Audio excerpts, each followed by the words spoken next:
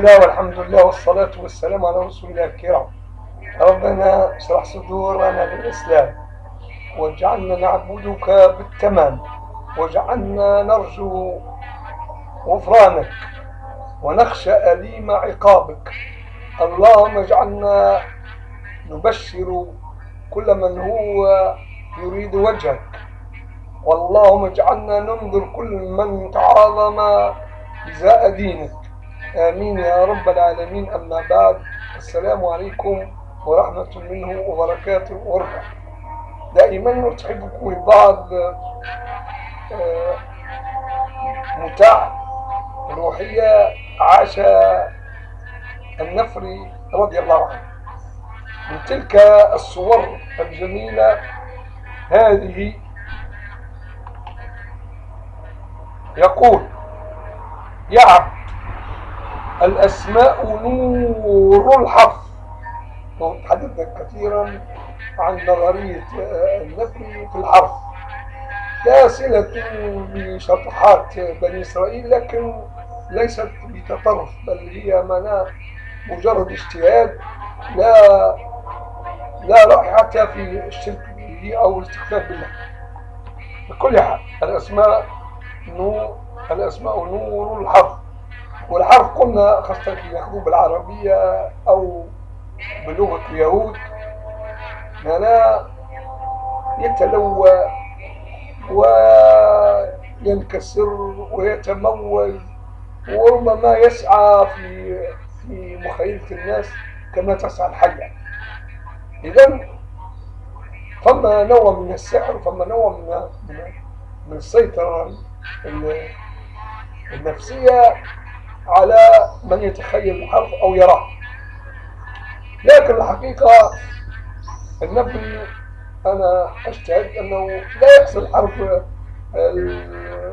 المعروف لكن حروف أخرى يعني هو ربما يتميز بالعلم بها من دون أغلبية الناس على كل حال الأسماء.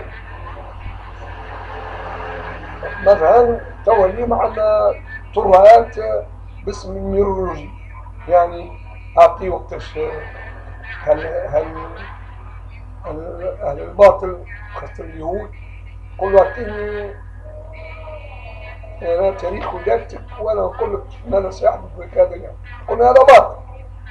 الاتيان بالحروف بالأعداد وقلنا بنو إسرائيل كانوا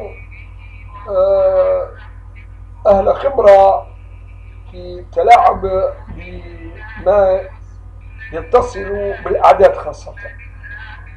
يعني العدد فلاني قيمته كذا وعدد آخر قيمته كذا. وبعد جمع آه، هذه القيم القيمات والقيم جمعها والخروج باجتهادات باطلة. ومناسبة 30 و110 مثلا يساوي كذا كذا.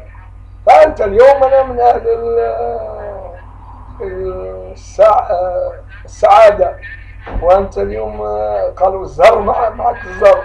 يعني فرتولة يعني يعني تلعب على على كما كانت الناس اللي تحارب في الفلاسفة أيام خلت في الإغريق عند الإغريق يعني هو وجه الإنسان هو حال الإنسان يختاروا كلام. لكي يسعروا بذلك الكلام ويأخذوا مقابل ذلك مال. عادة مال حرام في الشك عدنان النفري يقول يا عبد أي الله قالوا الأسماء نور الحرف والمسمى نور الأسماء. فقف عنده أي المسمى ترى نوره وتمشي به في نوره فلا تغشى به لا تغشى به في نوره. يعني لا يبين بكونه حين تتصل بالنور ما تولي محمد نقول فيما يتصل بالمفاهيم النورية يا عبد كتبت بكل نورية أين وقف بك؟ عبدي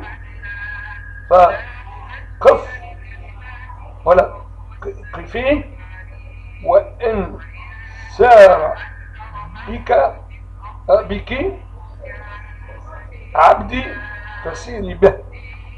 هنا كذلك أشياء أنا لازم الإنسان يختبرها حتى يقوم بالفهم. نسأل الله أن لا نفتن بما هو كائن في حياتنا. اللهم اجعلنا محفوظين بحفظك. واللهم اجعلنا نسعد بتأييدك إيانا في يرضيك في شؤوننا. آمين. السلام عليكم ورحمة الله وبركاته. ورضوانه